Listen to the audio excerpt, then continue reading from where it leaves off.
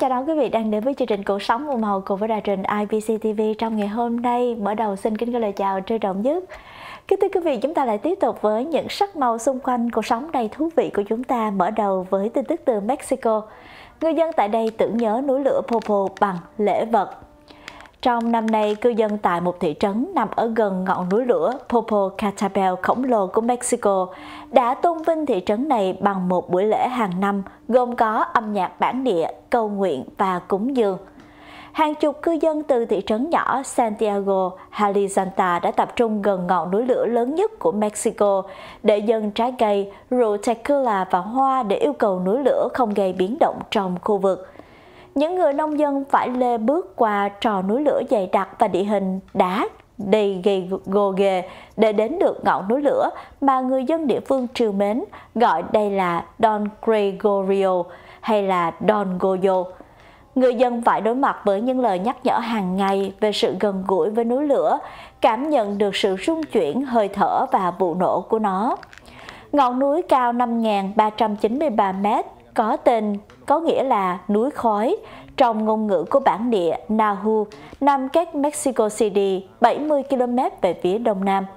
Chính quyền địa phương đã đưa ra cảnh báo màu vàng trong khu vực và cảnh báo này được đưa ra khi núi lửa bắt đầu phun trào, nghĩa là người dân phải cảnh giác và sẵn sàng trong trường hợp họ cần phải di tản khỏi khu vực này.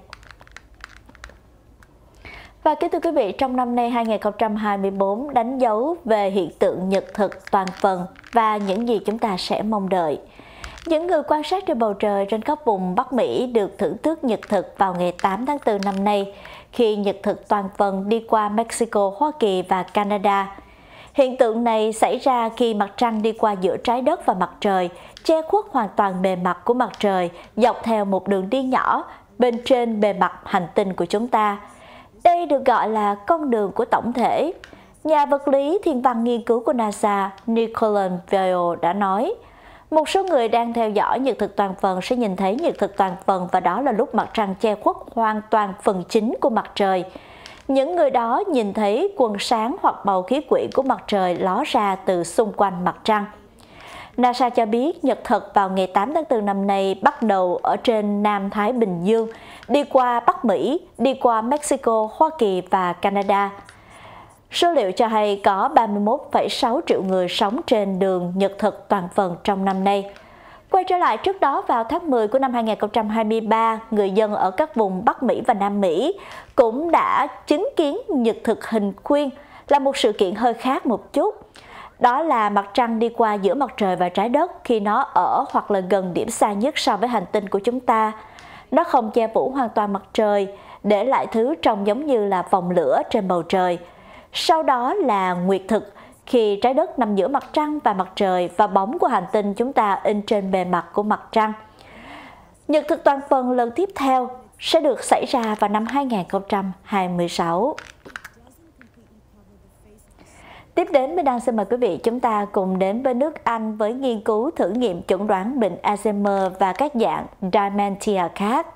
Hơn 50 phòng trí nhớ, phòng khám ở tại nước Anh chuẩn bị bắt đầu thử nghiệm xét nghiệm máu để phát hiện bệnh Alzheimer và các chứng sa sút trí tuệ, còn được gọi là dementia khác có thể giúp chuẩn đoán sớm hơn và nhanh hơn về căn bệnh này. Khoảng 5.000 tình nguyện viên tham gia vào dự án nghiên cứu kéo dài trong 5 năm, được thực hiện bởi các nhóm tại Đại học Oxford và Đại học College London.